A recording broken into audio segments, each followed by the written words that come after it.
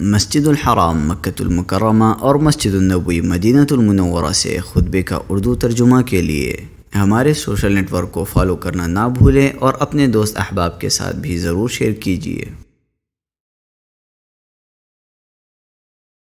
असलकम वरहमतुल्लाहि वबरकatuh हरम मक्की शरीफ से खुतब जुमा का उर्दू तर्जमा आप समात करने जा रहे हैं आज बतारीख 28 रमज़ान 1443 हिजरी बमुताबिक 29 अप्रैल 2022 ईस्वी डॉक्टर अब्दुल्ला अल जोहनी हफिजुल्लाह खुतबा पेश फरमा रहे हैं खुतबे का तर्जमा मैं आपके साथ पेश कर रहा हूँ जिल्लुर्रहमान तैमी आप खुतबे का तर्जमा समात फरमाएँ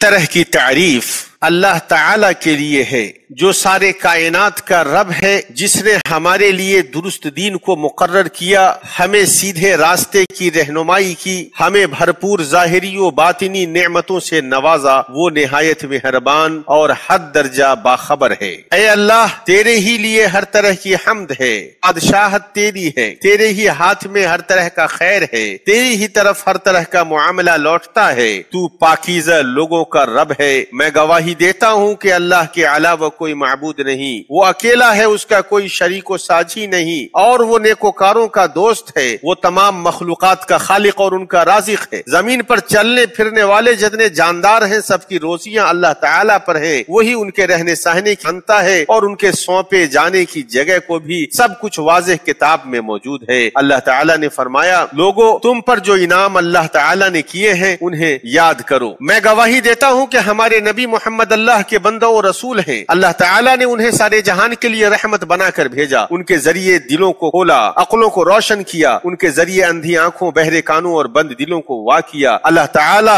से सबसे बेहतर बदले से नवाजे जो बदला वो अपने किसी नबी को उसकी उम्मत की तरफ़ से आता करता है। अल्लाह ताला उनके पाकिजा रोशन और मुबारक साहब के राम से राज़ी हो जाए और उनसे जो क्यामत के दिन तक हक के साथ उनकी पैरवी करें। अल्लाह ने फरमाया है लोगो, अपने परवरदिगार से डरो, जिसने तुम्हें एक जान से से पैदा किया और उसी से उसकी बीवी को पैदा करके उन दोनों से बहुत से मर्द और औरतें फैला दी। फैला दी। उससे डरों पर एक दूसरे से मांगते हो और रिश्ते नाते तोड़ने से भी बचो। बेशक अल्लाह ताला तुम पर निगहबान है। नीज इरशाद रब्बानी है। ए ईमान वालो, अल्लाह ताला से उतना डरो जितना उससे डरना चाहिए। और देखो, मरते दम तक मुसलमान ही रहना। ए ईमान वालो, अल्लाह ताला से डरो और सीधी सीधी बातें किया करो। अम्मा बाद, ए लोगो, अल्लाह ताला का तकवा इख्तियार करो। ऐसा अमल तलाश करो जो उसे पसंद हो और उसे राज़ी करे। अपने रब की बख्शिश और उसकी जन्नत की तरफ़। मोमिन वो है जो अल्लाह से उम्मीद रखता है और उससे डरता है। शैतान के नक्श कदम की पैरवी न करो। जो उसकी पैरवी करता है वो उसे गुमराह करता है और राह से भटका देता है और उसे बेहयाई और बुरे कामों का हुक्म करता है और जहन्नम के रास्ते की तरफ़ उसे ले जाता है। अल्लाह के बंदो,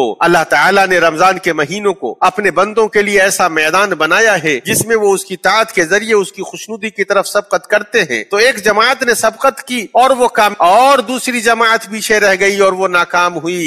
अली रज़ी अल्लाह की रिवायत है कि वो रमज़ान के महीने की आखिरी रात में आवाज़ लगाते थे। काश हमें मालूम होता कि कौन मकबूल है कि हम उसे मुबारकबाद देते और कौन महरूम है कि हम उसकी ताजियत करते। शायर ने कहा है, ए मकबूल शख्स, तुम्हें मुबारक हो। ए मरदूद शख्स, अल्लाह तुम्हारी मुसीबत को दूर करे। गुजश्ता कल हम माह रमज़ान का इंतज़ार कर रहे थे और उसे तलाश कर रहे थे। और देखें, आज उसने अपने कजावा कस लिया है और अपना बिस्तर समेट लिया है। और कुछ करने को है। ए महीना, तुम्हारे ऊपर मेरा नफ्स कुर्बान हो। थोड़ा रुक जा, फिर कुछ करना और रुख्सत हो जाना। मुझे नहीं मालूम कि जब ये साल गुजरेगा तो आइंदा साल लौटेगा तो मैं बेहतर हाल में रहूँगा। क्या तू उस वक्त मुझे जिंदों के साथ ज़िंदा पाएगा या कब्र में सड़ा हुआ पाएगा? अल्लाह के रसूल सलाया अगर लोग जान जाए कि रमज़ान में क्या है तो इस बात की तमन्ना करेंगे कि पूरा साल रमज़ान हो जाए। उसे हैसमी रहमहुल्लाह ने जवायद में अबू मसूद गफारी की हदीस से रिवायत किया और उसकी सनद शवाहिद के साथ हसन है। मोमिन जहाँ अल्लाह ताला की उस तौफीक से खुश होता है कि उसे यह महीना मिला, उसके रोज़े रखे और जितना मुयसर हुआ, उसकी रातों में क्याम किया, वहीं वो अपने ईमान पर रश करता है और अपने इस्लाम पर फख्र करता है। वहीं वो खैर बरकत की रातों और दिनों में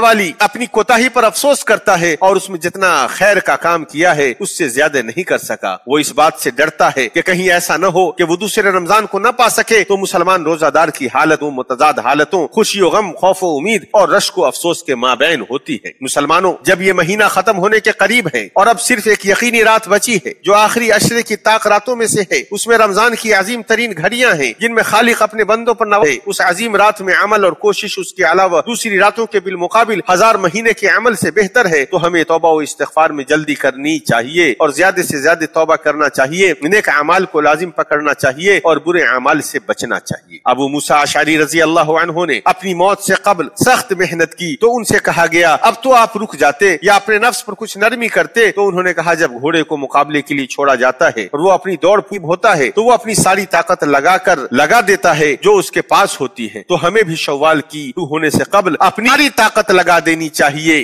भरपूर ताकत करनी चाहिए। और खूब सदका करना चाहिए। मेरे मुसलमान भाई, लगे रहो लगे रहो और कोशिश करो, सुस्ती न करो करो। यहाँ तक के ये महीना खत्म हो जाए, बल्कि यहाँ तक के उम्र खत्म हो जाए, और जिसने कोताही की और गुजरे दिनों में अपना वक्त जाये किया तो उसे तौबा करना चाहिए और हुसन अख्ताम की कोशिश करनी चाहिए। इसलिए कि अमाल का दारो मदार खात्मे पर है और एतबार कमाल इंतहा का होता है, नाकिस इब्तदा का नहीं। ए मुसलमानों अल्लाह का तकवा इख्तियार करो, अल्लाह की नवाजिशों को हासिल करो। सखी करीम अल्लाह के दरवाजे पर बहुत शफीक, नहायत, मेहरबान, रब की तरफ़ मुतवज हो जाओ। ए अल्लाह ए अल्लाह, हम रमज़ान के महीने को अपनी मगफिरत और जहन्नम से आज़ादी के साथ खत्म फरमा। अल्लाह ने फरमाया, हर शख्स एक न एक तरफ़ मुतवज तुम नेकियों की तरफ़ दौड़ो। जहाँ कहीं भी तुम होगे, अल्लाह तुम्हें ले आएगा। अल्लाह ताला हर चीज़ पर कादिर है। अल्लाह ताला हमारे और आपके लिए कुरान अजीम में बरकत आता फरमाए। हमें और आपको उसमें जो आयतें और हकीमाना नसीहत है, उससे फ़ायदा पहुँचाए। मैं अपनी ये बातें कहता हूँ, अल्लाह अजीम जलील से अपने लिए, आप तमाम मुसलमानों के लिए और हर तरह के गुनाहों से मगफरत तलब करता हूँ। उसी से मरो यकीन वो बहुत ज़्यादा मुआफ करने वाला और बहुत ज़्यादा रहम करने वाला है।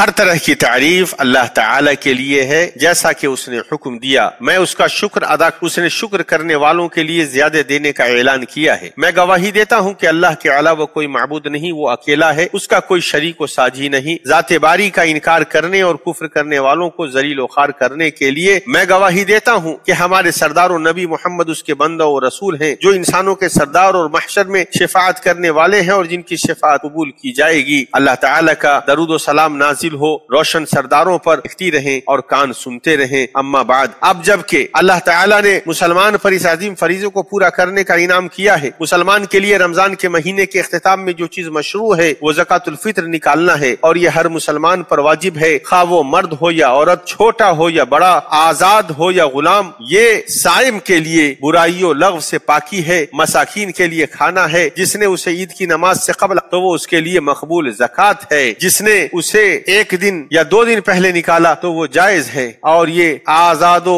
गुलाम, मर्दो औरत, छोटे, बड़े, सब पर एक सा है। मुतफक जो बच्चा माँ के पेट में है, उस पर नहीं है। और अगर कोई निकालता है तो कोई हर्ज नहीं है। और ईद की रात में मोमिन के लिए मुस्तहब है कि वो ज़्यादा से ज़्यादा तकबीर पढ़े। और जिसने हर मुसलमान पर वाजिब जक़ातुल फित्र को निकाला, उसे चाहे से कबल अदा करे। और इसलिए कि वो उसके लिए ईद की नमाज़ से कबल अदा करना है। और और जो ईद की नमाज़ के बाद अदा करेगा तो वो उसकी, उसके लिए सदकतुल फित्र नहीं होगा। मुसलमानों को चाहिए कि ईद की रात ज़ोर से तकबीर कहे और घर में भी तकबीर कहे, मस्जिद में भी तकबीर कहे।